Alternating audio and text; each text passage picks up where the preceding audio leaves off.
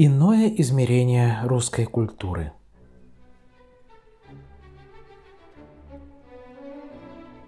Михаил Илларионович Михайлов. Адам Адамыч. Повесть. Посвящается Ивану Сергеевичу Тургеневу. Читает Евгений Бразов-Брюшковский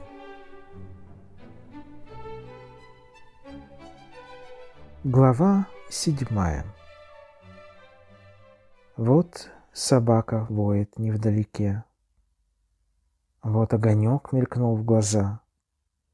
Вот шумит, словно толпа бегущего народу вода, падающая из-под колес мельницы.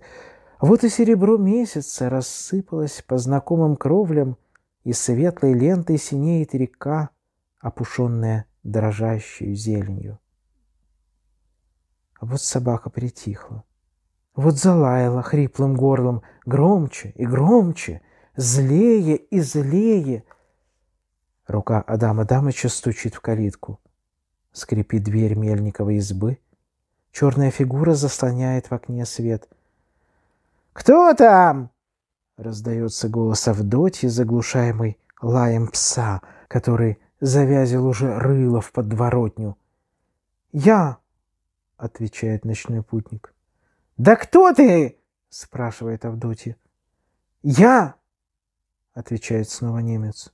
«Много вашего брата! Я да я! Всякого лешего знать!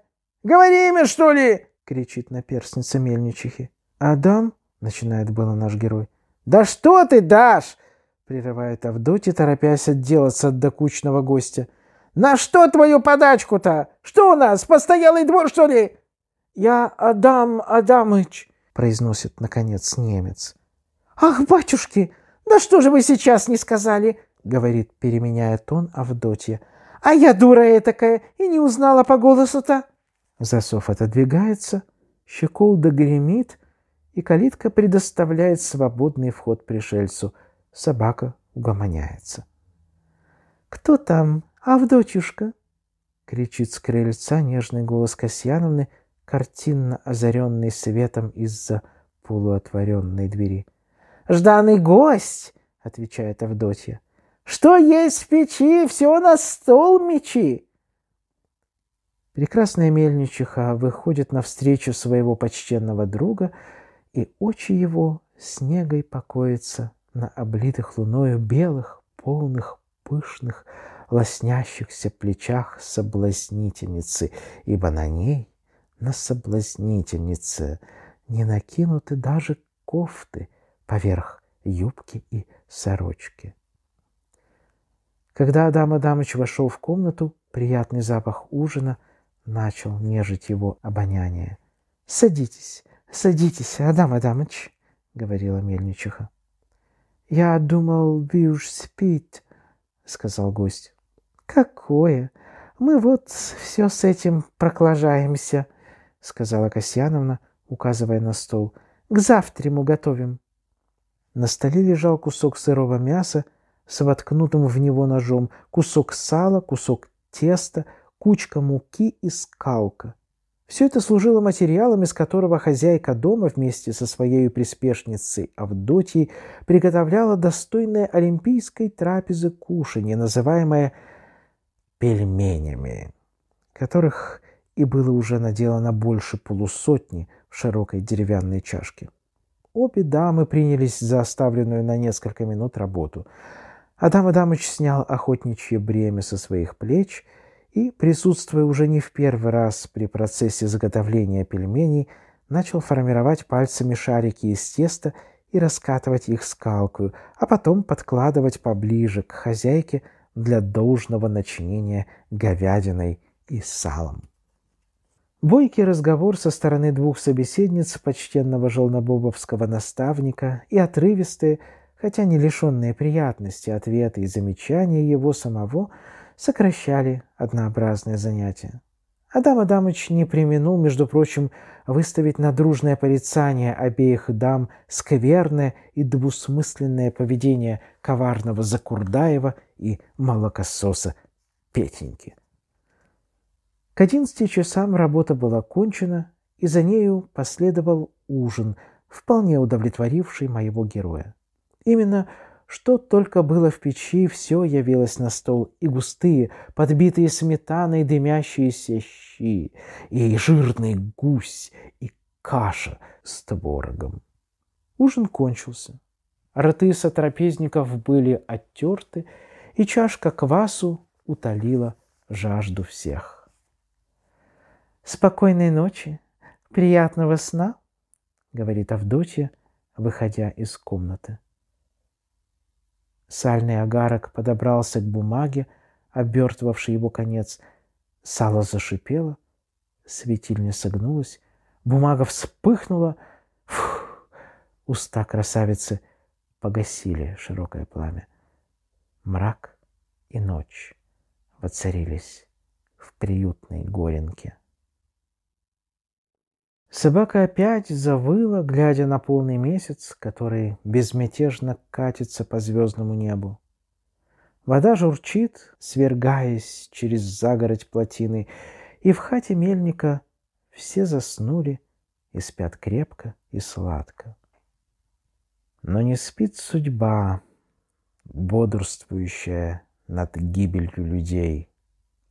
И не спит мельник Игнатьич, в конурке своего доброго приятеля мещанина Прохорова, торгующего разным мелким товаром, ветчиной и ржавчиной, битой посудой и козьим пухом. Игнатичу предстоит славное дельце на завтрашнее утро, и заранее улыбается во мраке его полное лицо, и мысли самого усладительного свойства озаряют его мозг. По приезде в город тучный мельник успел уже заготовить одно приятное для своего благосостояния обстоятельство. Мещанин Прохоров, по дружбе своей, доставил ему хорошего покупщика, который объявил Игнатьичу, что купит у него всю заготовленную им муку по выгодной цене, если только она будет найдена им в желанном качестве. Завтра «Завтра», — думает мельник, ворочаясь на постели. «В девять часов приедет и посмотрит. А уж насчет доброты, это уж что и говорить. И сумнительства никакого нет. Жернова новые, труд, голубчики, молодецкие. Тоньше пыли мучиться. Не то что, как он, в подзаборье, перец, а не мука. Одно плоховато. Угощением как бы не подгадить. Известно, человек непростой, не наш брат мужлан, купец третьей гильдии. Кизлярка есть, шпунтик можно будет сварганить. Закуска тоже хорошая. Белая рыбица провесная, икра паисная. Вот бы к обеду там того. Щи-то будут, а вот гусята малисовато осталось. А самим поди не вдогад. Эх, ма, плохо даровато. Надо самому пораньше. Хотя соображения эти и очень занимали духовный организм Игнатича, однако тучная физика его была сильнее и превозмогла. Он заснул. Впрочем, сон его был не крепок, и на заре, только что забрежилось раннее летнее утро, Мельник встал со своего ложа, надел длинный кафтан и вышел из комнаты. В синях принялся он расталкивать рыжего мальчишку, храпевшего во всю Ивановскую. — Парфенка! А, Парфенка! Вставай, шельмец! Ладь поди телегу! Да напой буланку! Да вставай, дурень! Ну что ты зенки-то? Вставай! Ишь ты! Поворотился. Говорят тебе добром, вставай! Говоря добром, Игнатьич ткнул Парфенку ногой под бок.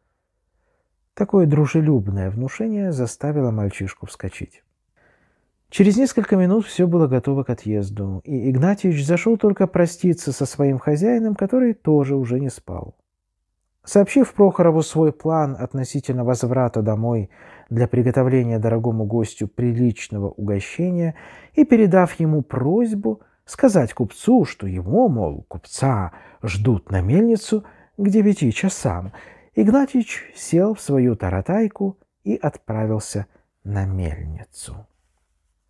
Чувства его были так преисполнены радостью от ожидаемой выгодной сделки, что он не дал даже ни одного подзатыльника Парфенке, который на семи верстах к мельнице принимался десять раз дремать и то опрокидывался в телегу, то тыкался носом вперед, причем раз чуть не клюнул буланку в зад.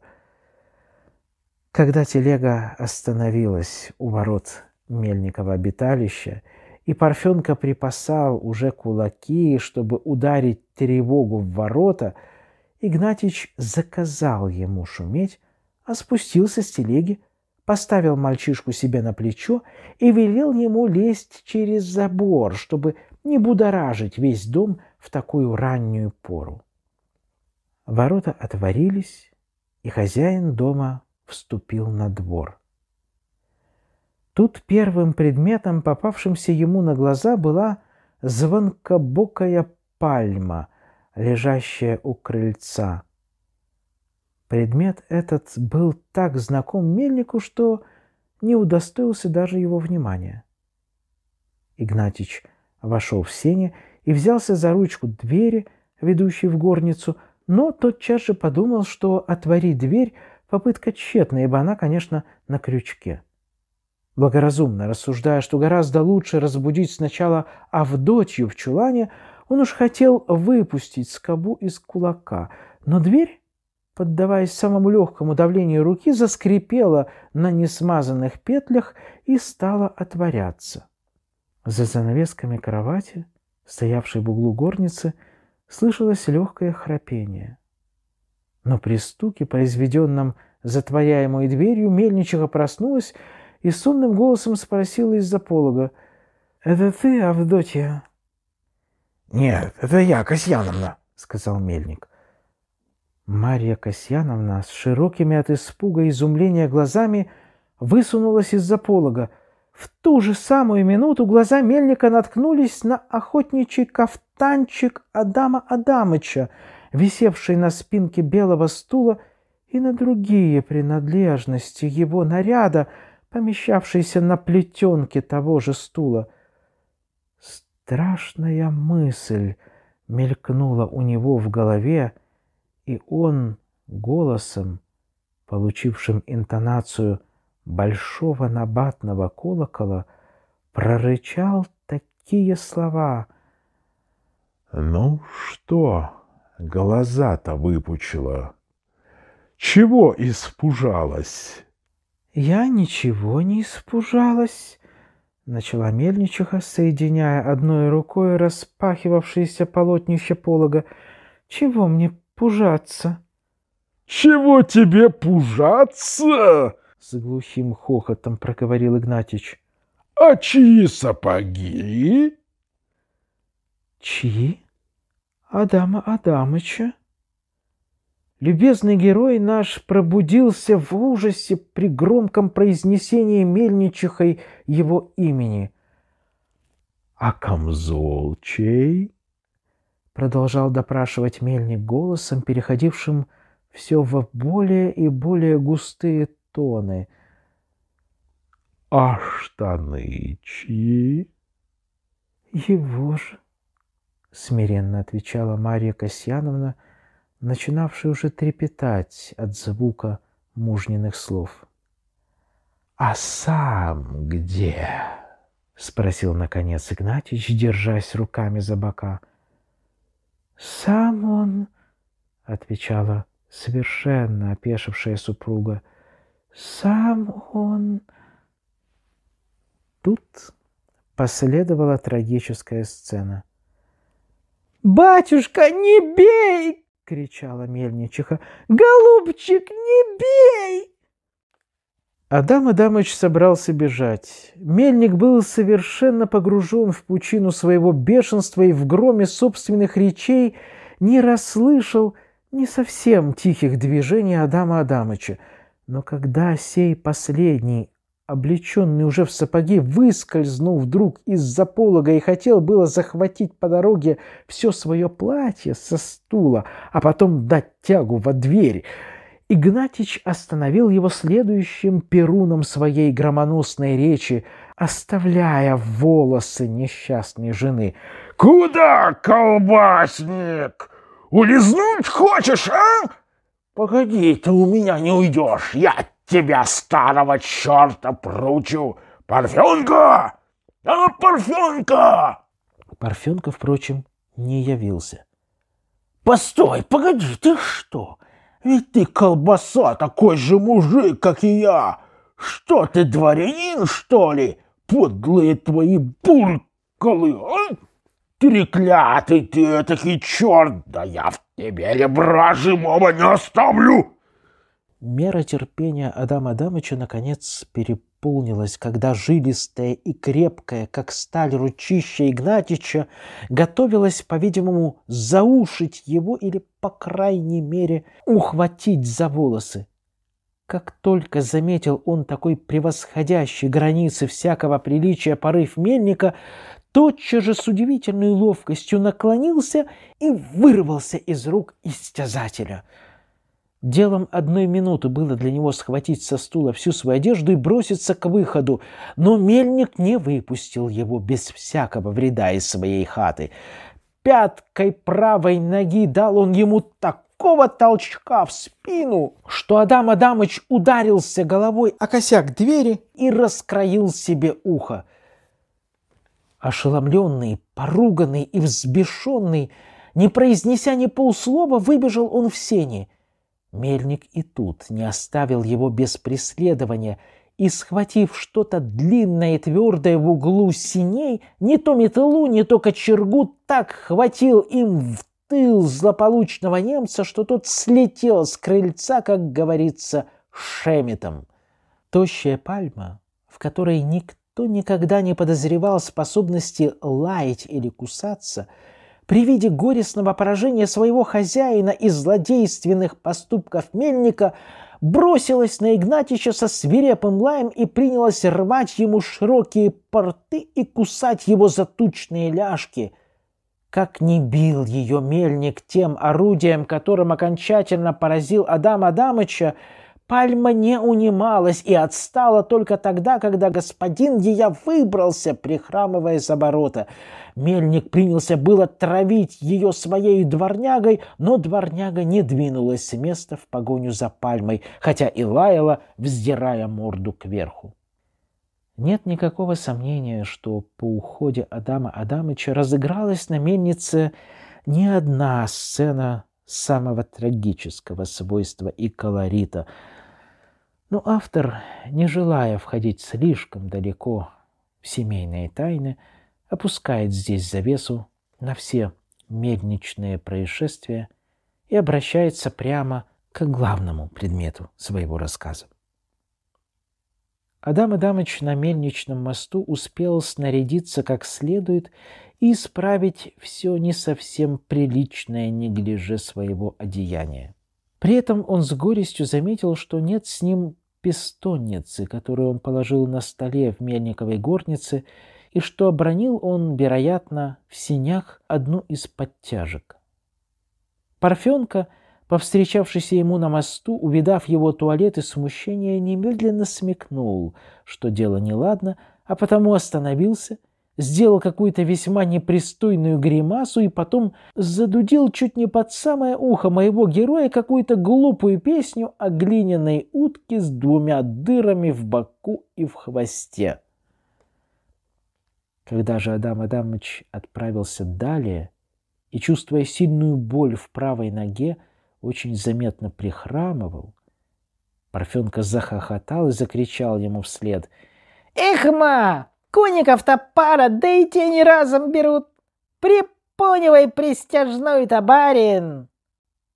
Странная вещь как накануне, когда Адам Адамыч вышел из города, чтобы идти к мельнице, всякое явление умеряло его душевное беспокойство и вносило утешение в его разбитое сердце, так теперь каждый предмет, попадавшийся на глаза нашему герою, производил в нем больше и больше тревоги. Мельничные колеса, казалось, подтрунивали над ним. Лошадь, ковылявшая на лужайке за мостом с треногой на передних ногах, как будто укоряла его, что и он ковыляет.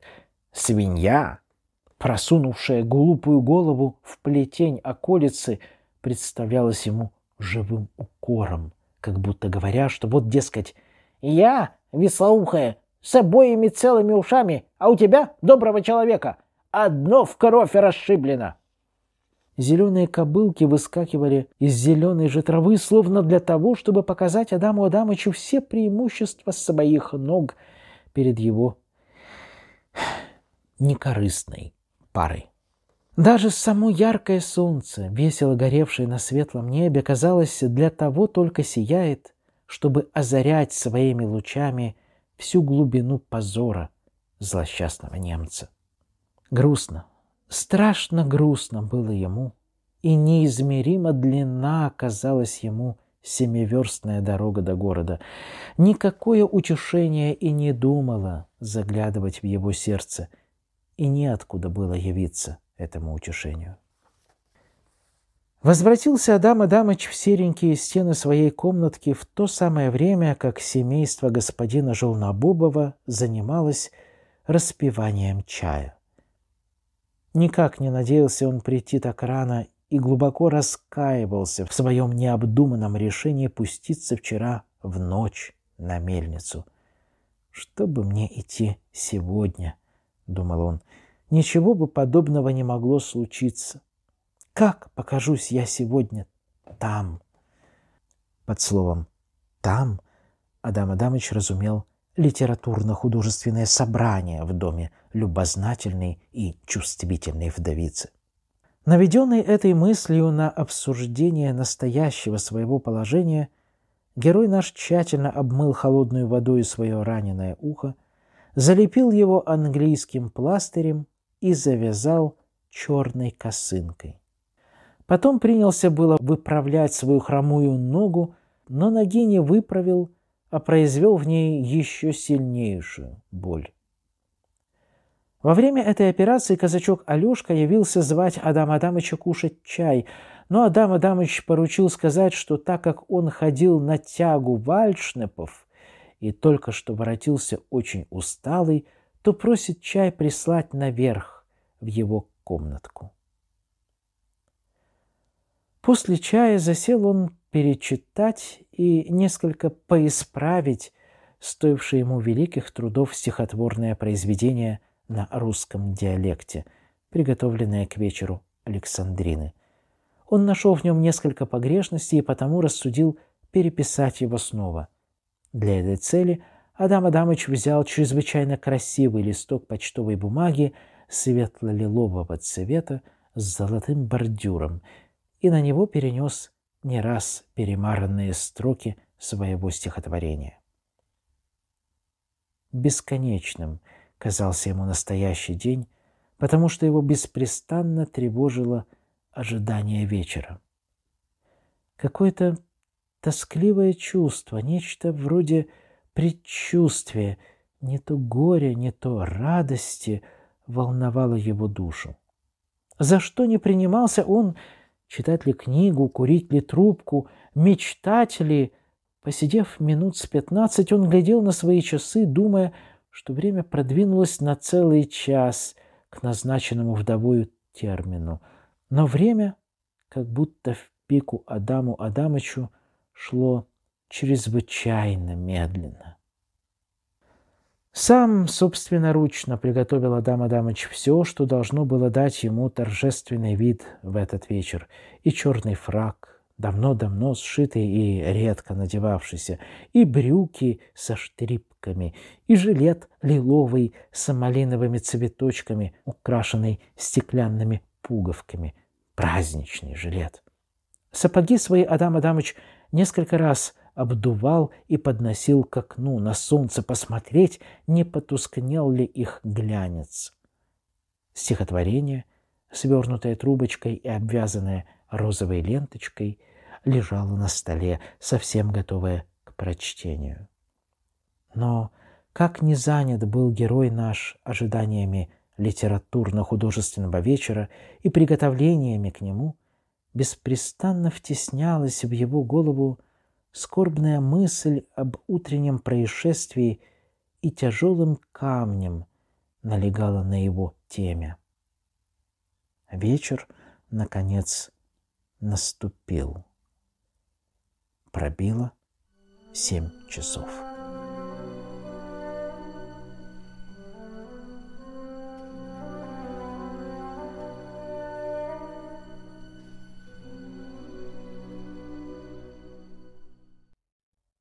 Читано по изданию. Сочинение Михаила Илларионовича Михайлова в трех томах. Приложение к журналу «Пробуждение». Том 1. Петроград. Товарищество художественной печати. 1915 год.